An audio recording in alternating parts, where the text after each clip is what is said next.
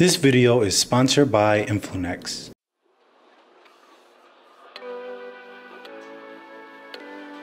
What is going on everyone? Welcome to my channel. My name is Gyasi.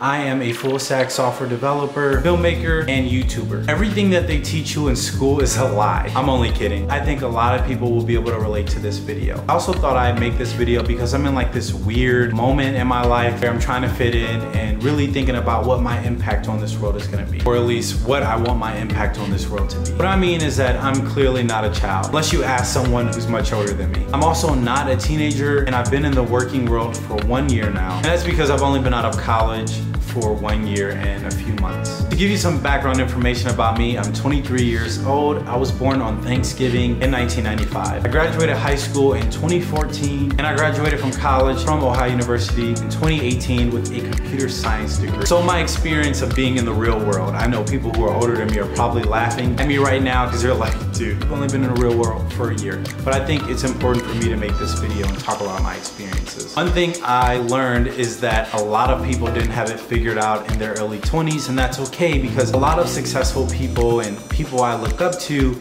will tell you they definitely didn't have it figured out in their early 20s and some of them will even tell you they were on the wrong path. My takeaway from that is that when I think about being in school, it almost seems like you have to have it figured out by at least the age 22 or when you graduate. So anywhere between the ages of 18 to 22. So figuring it out in college or figuring it out at the end of college. Or at least it feels that way. And in the reality, that's not true at all. When you graduate from college, in my opinion, is like the starting point to figuring it out.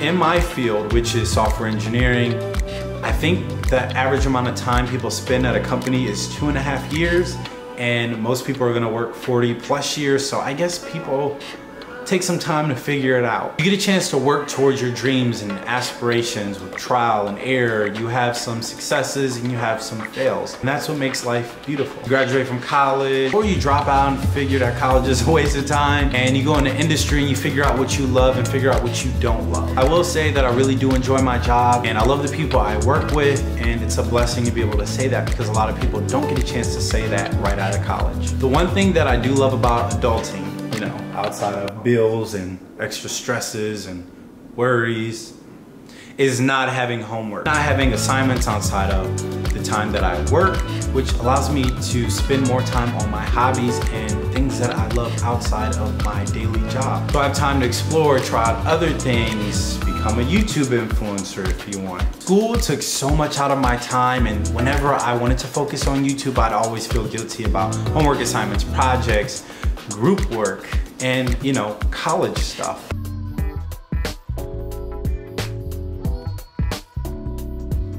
Day in the life, man. Day in the life. All right, so right now I have, it's good, bro. How you doing? Right now I have a little break, so just gonna get some more work done.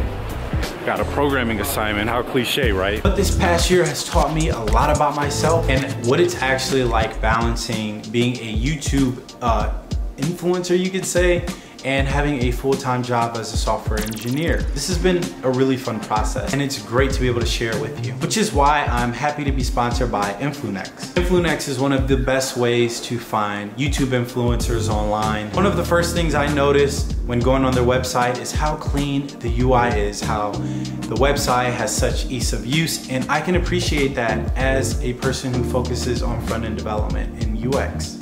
Influnex allows you to search influencers so you can browse popular influencer categories with more than 200,000 YouTubers in the database. For advertisers, it's easier to find YouTubers with rich filtering options. Also, there is suggestive, search supported, and recommended YouTube channels. In terms of analyzing influencers, there is a multi-dimensional data analysis for objective evaluation of influencers, which helps advertisers fully understand and an influencer. Also, you can check performance and engagement. I also find their precise sponsored price evaluation system to not only um, digital marketers, advertisers, but also for the influencers themselves. You can also contact influencers with one click. You can contact influencers with a group message and there is email template support. Last but not least, agencies can manage influencers that they're interested in. There is an option to manage influencers in a group and bookmark quality influencers for re-cooperation. So yeah, three big takeaways from my experience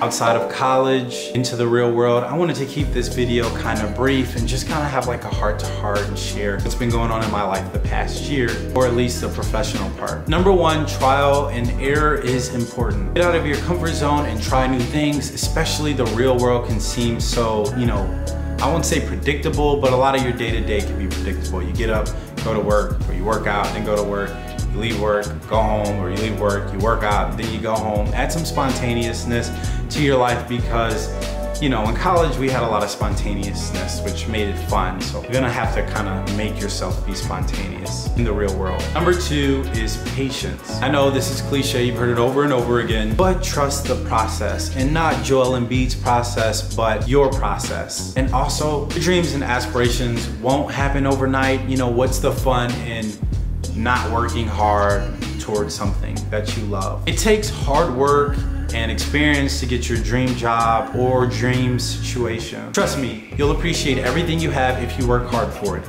No shortcuts, people. No shortcut. Number three, support group. In college, I had a I won't say a wide variety of support, but I did have a good amount of support. Find a group of people who support you and have more wisdom than you. You don't want to be the wisest person at the table. That's something I live by. Surround yourself with people who are always looking out for the best interest in your life for you. So for example, this can be a small group of people from your church where you meet, you know, once a week at a cafe, grandparents, people you play basketball with, or even a meetup that you found online where people do hiking and photography on Saturday mornings. This goes a long way. Don't try to do life alone. That is all I have, folks. Thank you so much for watching this video. If you're at the end of this video, give it a thumbs up. If you haven't already, subscribe to my channel. I love for you all to be a part of this family. Also give this video a thumbs up if you liked it at all, if you found it interesting, if you can relate to anything I talked about. And that's, you know, that's all I got. As always, stay blessed. I'll see you all later on this week or next week, depending on when I drop this video. Anyways, peace out. See you soon.